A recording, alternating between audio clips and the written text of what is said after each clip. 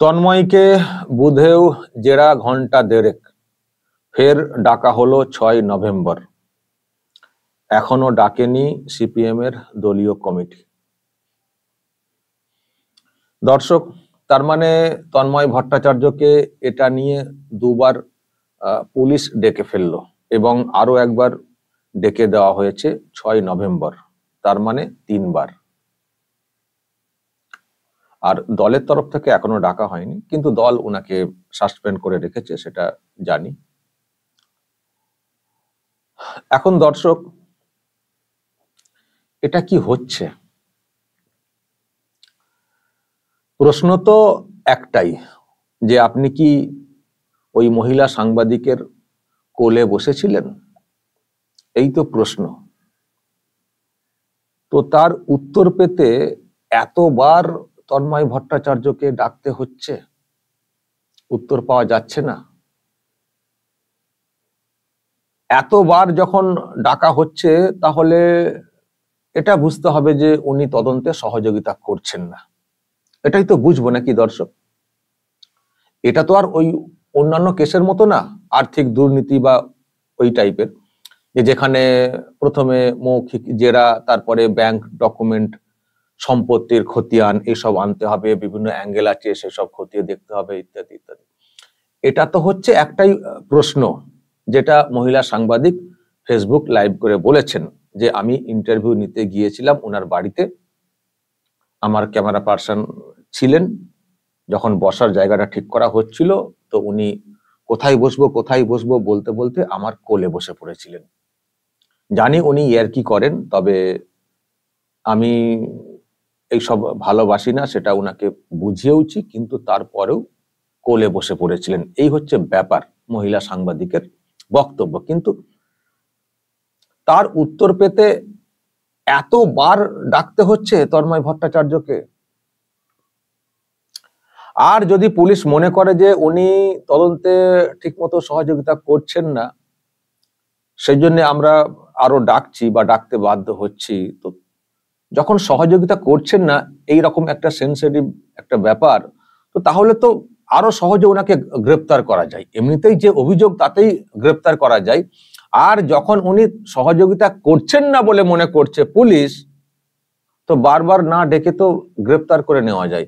তো গ্রেপ্তারও করছে না, ডাকছে, জেরা করছে, আর ছেড়ে দিচ্ছে, আবার ডাকছে, তো এটার উদ্দেশ্য কি?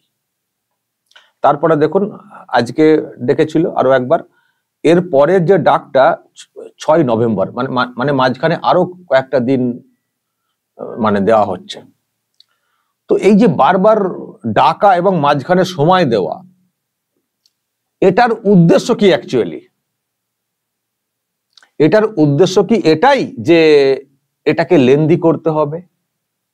এই যে ইস্যু এটাকে জিয়ে রাখতে হবে, এটাকে শেষ করা চলবে না। ফলে এখনই ধরার কোনো প্রয়োজন নেই। আর ধরলে রাখতে পারা যাবে কিনা সেটাও সন্দেহের। সুতরাং এটাকে কন্টিনিউ করতে হবে। এই ইস্যুটাকে জিয়ে রাখতে হবে। ডাকো, মাঝখানে আরও চারটে পাঁচটা করে দিন দিয়ে দাও।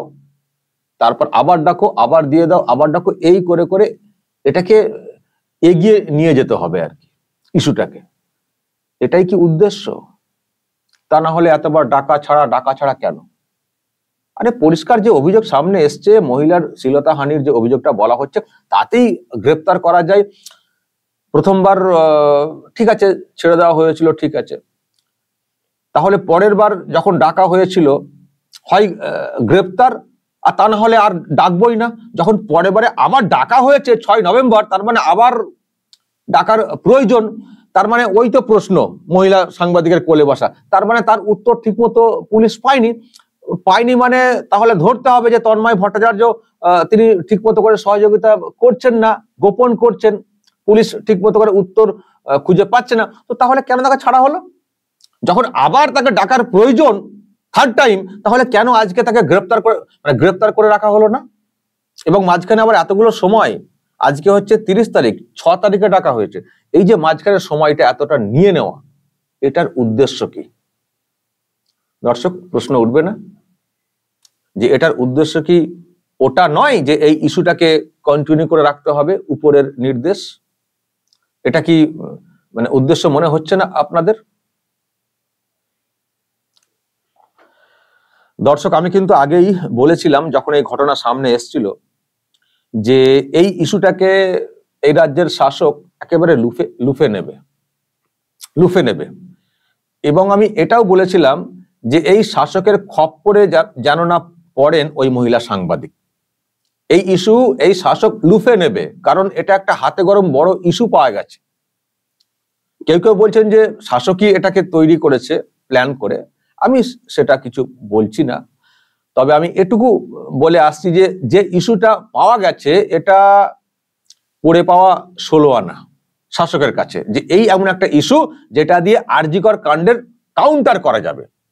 ফলে এটা হতে পারে দর্শক যে এটাকে জিয়ে রাখার একটা চেষ্টা যে এক্ষুনি ধরে ফেললে কোথাও জামিন হয়ে যাবে বা ঠিক মতো করে প্রমাণ করা যাবে না। ফলে আমরা যেটাকে নিয়ে এখন কাউন্টার করছি আরজিকর কাণ্ডের প্রতিবাদের ব্যাপারে, তো সেটা করতে পারব না।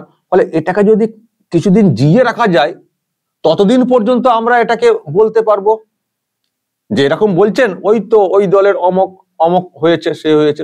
আমরা বলতে পারব। ফলে এই ইস্যুটাকে ডেড ইস্যু করা চলবে না। এই ইস্যুটাকে এক্ষুনি মেরে ফেলা চলবে না। এটাকে কন্টিনিউ রাখো, জিয়ে রাখো। ডাকো, ছাড়ো ডাকো, ছাড়ো, মাঝখানে সময় দাও। পরপর ডাকা দরকার নেই, আজকাল পরশুদের দরকার নেই। মাঝখানে সময় দাও, কয়েকটা দিন চলে যাক, আবার ডাক। আবার ডাকলে, আবার মিডিয়া মিডিয়া ফোকাস আবার ওই ইস্যু নিয়ে চর্চা হবে। আরও খানিকটা আমাদেরও বলার সুযোগ হবে। তো আমার দর্শক, কোথাও মনে হচ্ছে যে এটা উপরের নির্দেশে চলছে। আমার কোথাও মনে হচ্ছে। তা না হলে এইরকম একটা সিরিয়াস অ্যালিগেশন সেটাকে নিয়ে পুলিশ এতদিন ধরে ডাকা ছাড়া ডাকা ছাড়া করবে, আমার মনে হয় না পুলিশ নিজস্ব উদ্যোগে এটা করবে বলে। ওই উপরের নির্দেশে এটা করছে বা করতে বাধ্য হচ্ছে। আমার কথা মনে হচ্ছে দর্শক। জানি না শেষ পর্যন্ত কি হবে। তবে মহিলা সাংবাদিকের বক্তব্য তো আমি দর্শক আপনাদেরকে আগেই শুনিয়েছি, উনি তো ওনার মতো করে বলেছেন এবং তার ব্যাখ্যাও আমি দিয়েছি, আমি আর সেই সব নিয়ে এখানে কিছু বলছি না। আমি এটাও বলেছি আপনাদেরকে যে এই যে নেতা, সিপিএম নেতা তন্ময় ভট্টাচার্য খুবই রসিক একজন মানুষ, ঠাট্টা মজা করে থাকেন। এখন ঠাট্টা মজা করতে গিয়ে ওটা করে ফেলেছেন কিনা, নাকি ইন্টেনশনালি করেছেন, নাকি ভুল কিছু বুঝেছেন মহিলা সাংবাদিক, সেই সব নিয়ে প্রশ্ন রয়েছে। বা মহিলা সাংবাদিক যতটা বলেছেন ততটা হয়েছে কিনা সব নিয়ে প্রশ্ন রয়েছে। তো সেটা খতিয়ে দেখার কাজ হচ্ছে পুলিশের। দেখা যাক, নাকি ধরবো যে পুলিশ এখনও পর্যন্ত কিছু খুঁজে পাচ্ছে না সেই জন্য বারবার ডাকছে। তো যদি খুঁজে না পাওয়া যায় এতবার ডাকারই বা কি আছে? দুবার ডাকা হয়ে গেল। যদি পুলিশ খুঁজে না পায় মানে গ্রেপ্তার করার মতো কোনো অবস্থা যদি না বুঝতে পারে পুলিশ, তাহলে কেনই বা তাহলে আবার ডাকা হলো? আবার ছ তারিখ? কেন কেন ডাকা হলো? তো এইসব নিয়ে দর্শক প্রশ্ন উঠবেই যে এটা তার মানে কি চলছে? এটা তার মানে কি চলছে? এই ইস্যুকে জিয়ে রেখে পলিটিক্যাল পারপাস সলভ করার জন্য কি শাসক এইসব করছে? পুলিশকে দিয়ে করাচ্ছে? যাই হোক পুলিশ যা করছে করুক আমরাও শেষ দেখতে চাই যে কি পাওয়া গেল। কি পাওয়া গেল, এটাও আমরা শেষ দেখতে চাই, তারপর তো আমরা যা বলার বলব। দর্শক বলবেন, যদি এই নিয়ে আপনাদের কিছু মত থাকে, বা আমি যে প্রশ্নগুলো মানে প্রশ্নগুলো তুলছি, যদি এই নিয়ে আপনাদের কোনো মন্তব্য থাকে, অবশ্যই বলবেন, যা বলার বলবেন কমেন্ট বক্সে নজর রাখবেন, আরামবাগ টিভিতে